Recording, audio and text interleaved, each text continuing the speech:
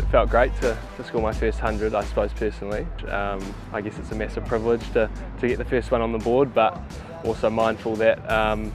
you know, we, we as a team pretty keen to start winning, so it was sort of mixed emotions, but yeah. I guess as a born and bred Wellingtonian, I guess I, I do feel proud to be to be representing Wellington and to get the first